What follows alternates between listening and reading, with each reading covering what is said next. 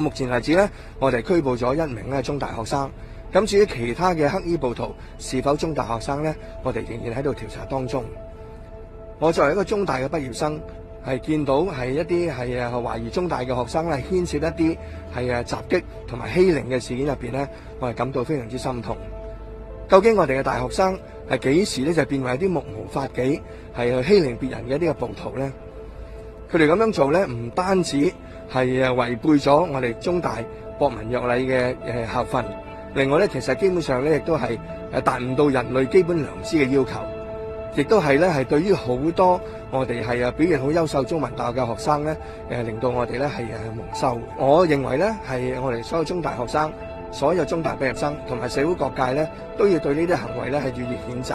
對呢啲非法暴力事件，我係絕對唔會容忍。